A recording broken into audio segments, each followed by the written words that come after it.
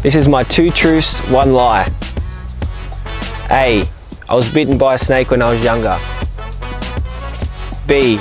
I got my nickname Buster from busting my head open three times when I was a kid. C. I play the harmonica.